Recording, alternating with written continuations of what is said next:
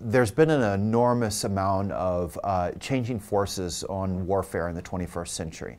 And they range from uh, new actors in war, like private contractors, the Blackwaters of the world, to um, the growth of warlord and child soldier groups, to technologic shifts, uh, the introduction of robotics, to cyber.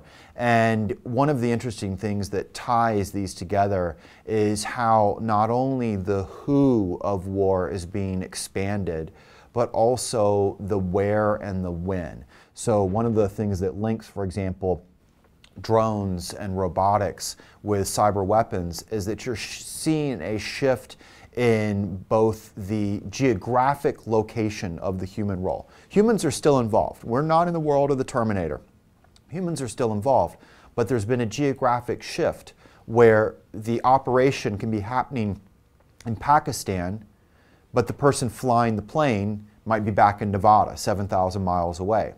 Or on the cyber side, where the software might be hitting uh, Iranian nuclear research centrifuges, like what Stuxnet did, but the people who designed it and decided to send it are, again, thousands of miles away. And in that case, it was a combined US Israeli operation.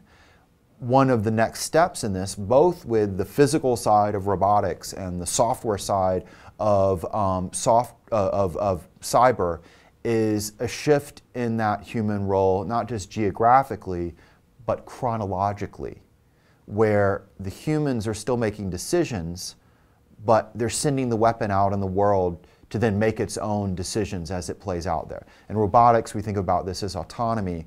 With Stuxnet, it was a weapon. It was a weapon like anything else in history. You know, a stone, a drone, it caused physical damage.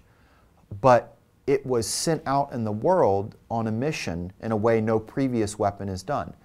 Go out, find this one target, and cause harm to that target and nothing else. And so it plays out over a matter of, you know, Stuxnet plays out over a series of time. It also is interesting because it's the first weapon that can be both here, there, everywhere, and nowhere. Unlike a stone, unlike a drone, it's not a thing.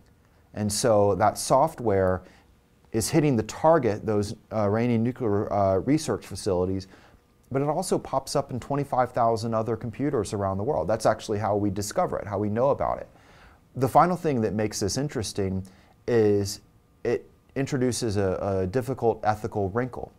On one hand, we can say this may have been the, um, the first uh, ethical weapons ever developed. Again, whether we're talking about the robots or Stuxnet, they can be programmed to do things that we would describe as potentially ethical. So Stuxnet could only cause harm to its intended target.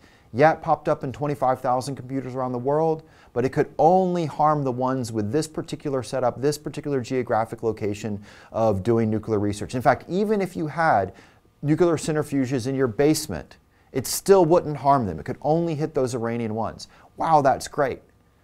But as the person who um, discovered it, so to speak, put it, it's like opening Pandora's box and not everyone is going to program it that way with ethics in mind.